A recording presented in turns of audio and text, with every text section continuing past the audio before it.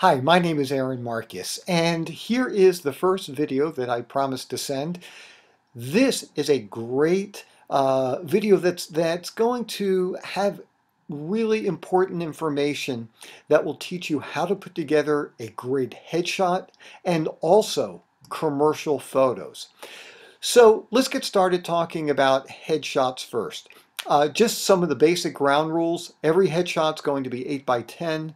Uh, there shouldn't be any exception to this rule. Your resume will be 8 by 10, uh, so make sure it's not sticking out um, through the uh, over the back of the headshot. Also, uh, today everybody's using color. Years ago, people uh, used to use black and white, but um, uh, it's been quite a few years since since that happened. It, it might change at some point, but everybody's using color now. Here's the key thing to learn and that uh, you really need to understand about headshots. The headshot needs to capture your personality. And when I say your personality, I'm not necessarily meaning who you are as a human being. It's the way people perceive you. It's the personality uh, that people uh, feel uh, about you when they meet you. It's the kind of character that you portray that immediately allows people to put you into uh, a certain category so that you can be cast in, in, a very specific role. So, like for instance, you're looking at me right now, and you're not going to be thinking of, um, you know, the, the head of a motorcycle gang. You know, you're probably going to be thinking, I would be cast as, you know, a doctor, um, a lawyer, the uh, science teacher, uh, I could be the history teacher, uh, the psychologist, somebody you will share information with, somebody you're comfortable with, somebody who seems kind, somebody who seems successful, uh, maybe a, a politician.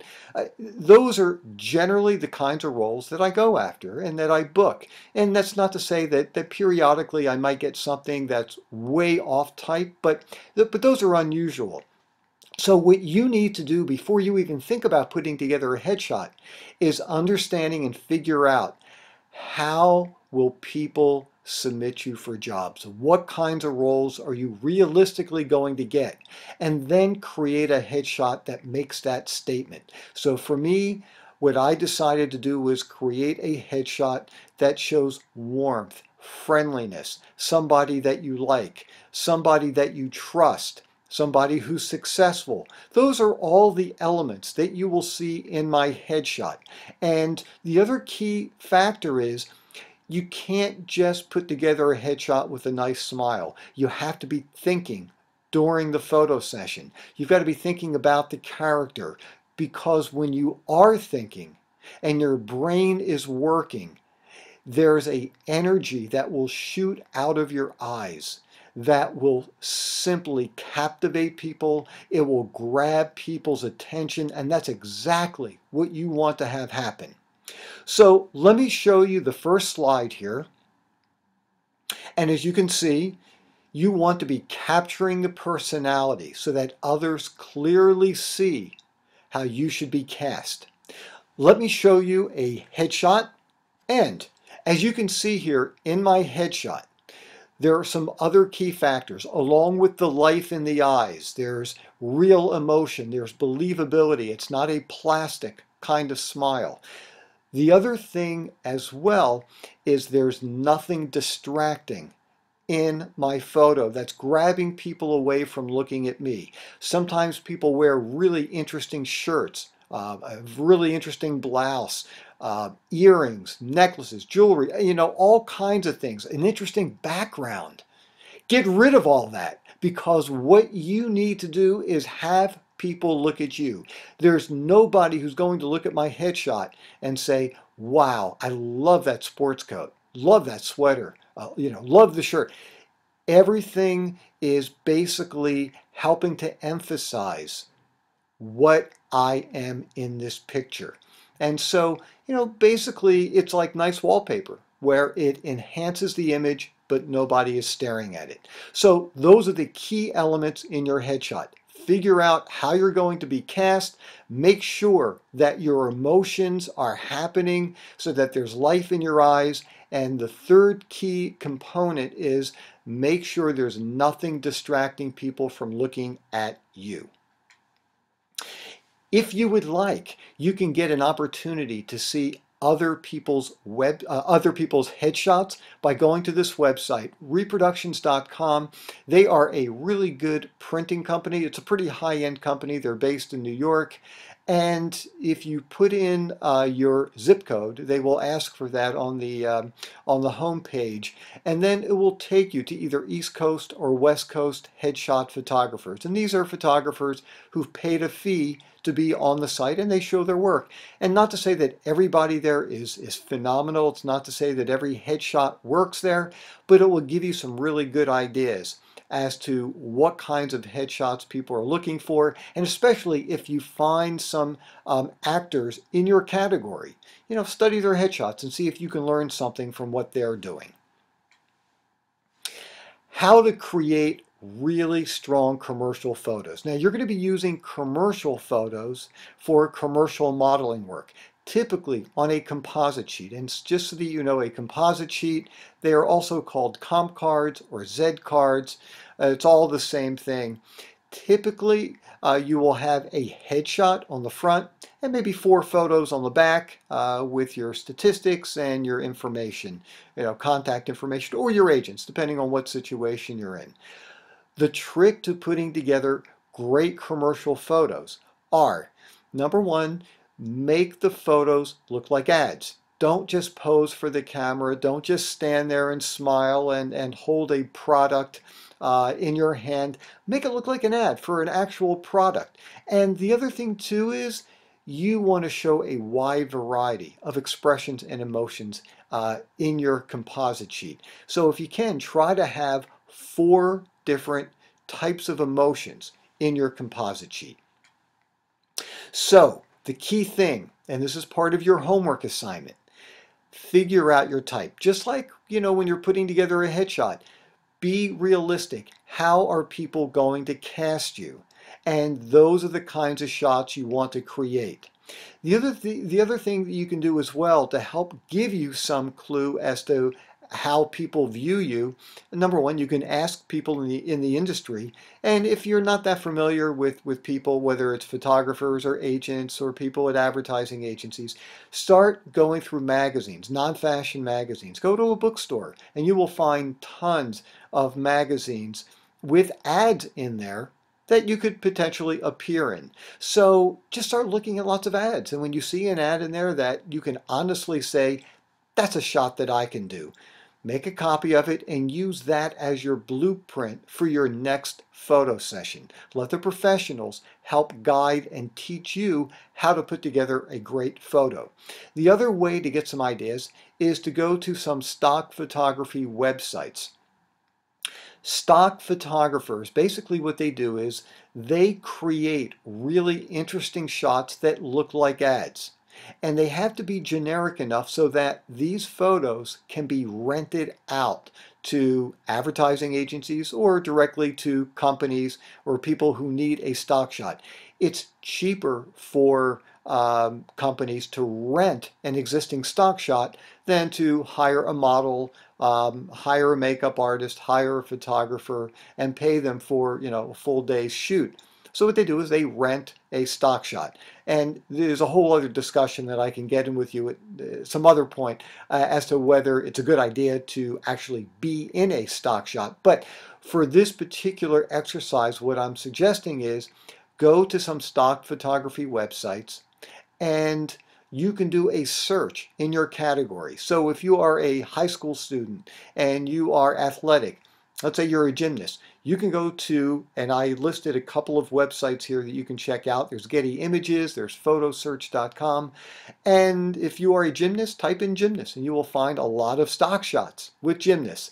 Uh, if you are um, you know, a woman in her 40s and you think you should be doing an ad as a real estate agent or you're the realtor, then do a search. And once again, you will find some really good shots to use as guides for you. Now, some of the shots in, eh, on the stock websites will only work if there are words in there, if there are products, if there's a headline. What you want to do is to find some stock shots that look like ads even without any of the words. As another part of your homework assignment in preparation to putting together some commercial shots, after you've gone through lots of uh, magazines uh, and or the stock websites and you found let's say 10 or 12 different ideas then make a list of the different emotions that you need to bring uh, to the actual shoot itself. So if there's a photo that you're thinking would be a great idea where you feel sick and it's a pharmaceutical ad, then what you have to do is think of a time period where you actually felt miserable really feel it, really experience it, and think of a word or two words or sometimes it can just be a sound that will help you remember that experience and feel it again and then bring it to the camera. So what I do is this, whenever I'm doing a photo shoot, I always look away from the camera. I will say a word or two very softly to myself down here, bring the look up, boom, there's the shot. I will do the same thing down here. And it's like a little dance that takes place. It's I call it the Aaron recall method because it's something that I created where I look away, say a word or two, make a sound, and bring it back up. And that's how you continuously recharge uh, your, your emotions so you don't look like a model, so you're not just stuck, you know, kind of staring into the lens of the camera. And so to help you with this, when you're looking at a lot of these ads or stock shots that you're considering using, look at the emotions, make a list of all the different emotions that you need. Then make it make it very specific. So if there's a category where you put sick, well, there's a lot of different kinds of sickness. Do you feel like, well, you got a cold? Um, you know, it's it's not horrible. You just don't feel 100%. You feel like you are just wiped out and you've got stomach ailments and you can't get out of bed, or whatever it is? Make it very specific. So that way, when you are, you know, on a set and you are being told, okay, well, you've got to look sick, then you can ask, um, you know, what kind of sick are you talking about? Then you can really pull it off and make it a very, very believable and very specific kind of look. So you're going to practice creating the right emotions and expressions. And what you can do is before, uh, let's say you're going to create some new commercial shots, you know, for your portfolio or, you know, your website or your agent's website or comp card, practice by just getting anybody to take, um, use their cell phone. You know, look away, say a word or two, you know, I feel horrible, look up like this, you know, whatever it is, and, you know, do five, six, seven, eight shots and take a look at it and see if they look believable. If they look believable, you've got it. And you know how to recreate all of those different looks whenever you need it. So that way, if you're in a situation, you're just not feeling it that day, you've got a technique to fall back on. So for the recall method, just one more time, you're going to look away from the camera, you're going to say a word or two to create the right emotion, and then look back up in character. And that's how you get a really, really strong, powerful looks that are believable. And let me just tell you, there are two times you don't want to use this technique. If for some reason the photographer says, I don't want to hear anything, I, I, don't really understand it. Sometimes they do. Or if you're working with another actor or model who just isn't capable of working this way and they're just saying silly things that are that's just throwing you off, then what you do is you stop and you do, it's called an internal monologue, where you think the words to yourself. So let me start showing you some examples of real ads that I've done where I use this emotion. And I'm going to zip through them pretty quickly, but as you can see in here, you will see lots of different expressions and emotions. There's different kinds of frustration. Some are over the top, some are more serious, some are more angry. There's different kinds of sick, like I mentioned before. Uh, there's confidence. Uh, there's another kind of frustration. Really quickly, so I'm throwing Johnny Depp out of the courtroom in the movie Crybaby. And I am to his right. You can see me on the left of the screen here. And they use glycerin to create the tears. It's like clear syrup and you can place it right here. It will stay right there. It won't move. It was great for the movie. But the reason why I'm mentioning this to you here is don't use it if you're doing some kind of athletic shot and you need to show perspiration. Some people have tried to do that and they'll place little beads of glycerin all over their face. The, the problem is if you accidentally get it in your eyes, it's going to be horrible. It's going to burn your eyes. So if you're doing an athletic shot or you need to show perspiration, either run around and really perspire or get somebody to spray you with some warm water. That's a much, much better and safer way to do it. Once again, very different kind of look. Uh, that's a very different kind of look. Uh, yeah, it's always kind of weird to see that one. How women have long fingernails, I don't know. I always poke my eyes out. I broke a nail once opening up a door during the shoot. Um, Molson Beer. I'm the rock grunge guitarist for Molson Beer. And once again, you look at me, you don't necessarily think of rock grunge guitars, but with the right wig, uh, the right emotions, I had music playing in the background. I asked the photographer if we could do that, and he knew that I would be able to pull it off. Uh, this is this was really cool, Disney World, and um, you know the whole idea is be a kid again. You travel to Disney World, you know, with young kids as a family. Now they're older, leave them at home and come down and experience it again. So they needed somebody who could let loose, somebody who could scream. And you'll notice in the next slide, if you look at this one very carefully, that's how I booked this job they really uh, they saw the shot from Disney World and they said, "Hey, I'm sure that you can do this lottery thing, uh, the Virginia lottery. You win, you know, you win a quarter of a million dollars. I need to see that excitement." And so uh, that's another reason for showing this technique. If you're asked to show an experience that or an emotion that you've never experienced, then what you do is think of another experience that will give you the same kind of emotion. So since I never experienced winning a quarter of a million dollars. Um, I thought about when I play baseball, hit a grand slam, we win the game in an all-star game. And that's my feeling of hitting home plate with everybody jumping all over me. That was pretty cool. Another kind of pharmaceutical ad. Uh, this was shot in New York. And um, you know, it's a very, very different kind of look. So this really sums everything up. This is a Pennsylvania lottery. It's only a $1,000 uh, Valentine's Day special lottery ad. And you give her chocolates, that's what you get. Flowers, that's what you get. But man, when you give her the lottery ticket on Valentine's Day, watch out. Okay, so Here's just to kind of sum things up for you, how to create really strong uh, commercial photos for your composite sheet. Number one, make sure that your photos look like ads. You can bring props. Uh, just make sure you're not using any logos or brand names. Uh, if you can shoot on location, if the photographer is willing to do that, that would be great. If not, then you figure out what shots you can do in the studio. And the other thing is show a wide variety of expressions and emotions.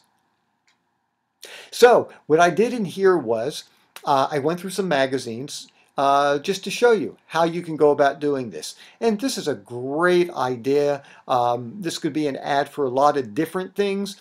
Um, but you know nobody's mugging the camera. Uh, you feel this great relationship between uh, you know the mom and her son. She's a businesswoman. She's picking up her child from you know daycare.